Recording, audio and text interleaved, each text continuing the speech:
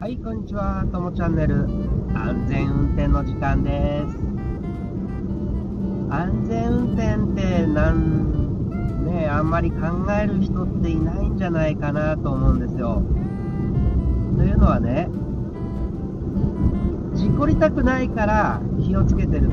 だから安全運転につながるんだけど、安全運転ってのは、それ考えてるのは、車にとっての安全運転であってね、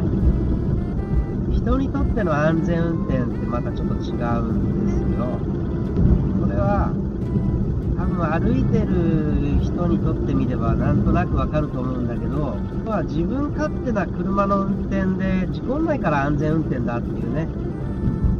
そういう考えを持ってる人もいるんですよ。だけど安全運転ってのは、人を基準にして考えることだと思うんですよね。だからこそ、こういった道でも時速40キロとかね、そういった制限速度設けられてると思うんだけど、それは人が突然飛び出てきても対応できる速度とかね、そんな意味だと思うんですよ。じゃなければ、とんでもないところでね、30キロ制限っていう道もあるし、それは人が飛び出てくる確率が結構あるのかもしれないんでね。だからね、安全運転という観点で見た場合は、人を基準にして考えないとね、安全運転にならないんじゃないかなということです。だからね、必要以上にスピードを落とすのがね、逆に危ないとかっていう人もね、中にはいます。それは車目線で見た場合の話なんでね。それでは安全運転、点まあ確かにぶつかんないからね、安全かもしれないけど、本来の安全運転というところで見れば、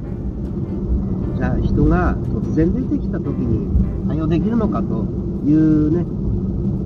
ところは、そこではもう安全運転にはならないわけですよ。だから徐行するところを徐行しないで、ぶつかんないから、俺はうまいんだよ。運転うま、ね運転うまいんだぞと。そういう輩がね、結構いるんだけど、それは安全運転じゃなくて、たまたまぶつかってないだけでね。もしかしたら、同じような運転してればそのうちぶつかるかもしれない。それは物じゃなくて人にかもしれないしね。ただ、安全運転をするのであれば、やっぱり道路交通法っていうのを守って走るのが一番安全運転に近くなるんじゃないかなという気がしますけどね。じゃあ、後期をちゃんと守ってれば、事故を起こさないのかと。それもまたちょっと違うんですよね。要するに、あの、道路交通法っていう法規はね、車の免許を持った人が守らなければいけないことであって、それを知らない歩行者もいっぱいいるわけですよ。そういった歩行者に対しても、安全でいられるような運転を心がけるのが安全運転っていうことになると思うんですよね。だからね、この間ね、信号のない交差点、交差点の、横断歩道のね、中で、あの私、ちょっと、と捕まったんですよ。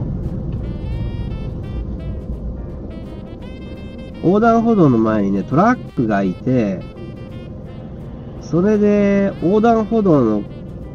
影がね、影に人がいたらしいんですけど、それが見えなかったんですよね。で、そんだけ見えないところに止まってるトラックってどうなんだっていうことなんだけど、警察に言わせると、それは5メートル以上離れてたでしょと。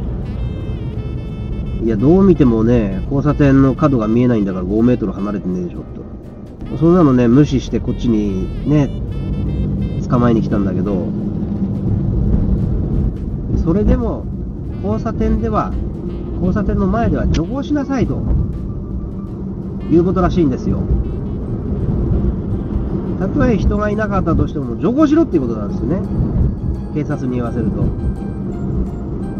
まあ確かにそれが正解なんだけど歩、行者がいる場合は渡らせろ。いなくても見えなければ徐行しろ。いないのを確認できればそのまま素通りしてもいいと思うんですけど、要はそういうとこなんですよ。人にしてみれば、道路交通法なんか、そんなもん知らねえよと。てめえ勝手のね、基準で歩いてるわけですから、それに対しても安全でいられる運転をしなさいよっていうのがね、道路交通法法規なんですよね。全てをね、理解してる人なんてまあいないでしょうけど、それなりに安全に気を配って走ってなければ、それは本当の安全運転とは言えないんじゃないかなというところです。私がね、この間捕まったのもね、見えないのをなんでそっちのトラックを捕まえねえんだってことなんだけど、まあ警察にしてみりゃね、当事者のいない駐車違反よりも、当事者のいる現行犯の方がね、捕まえやすいですからね。まあ、かあるたびにね、この話多分出していこうと思うんですけど、要は警察は、てめえらのね、さじ加減で、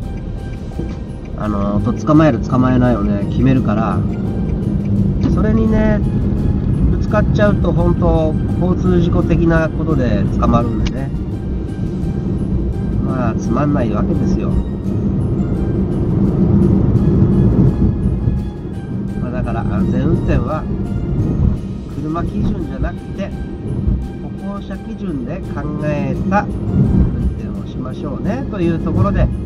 今回のともチャンネル終了させていただきたいと思います。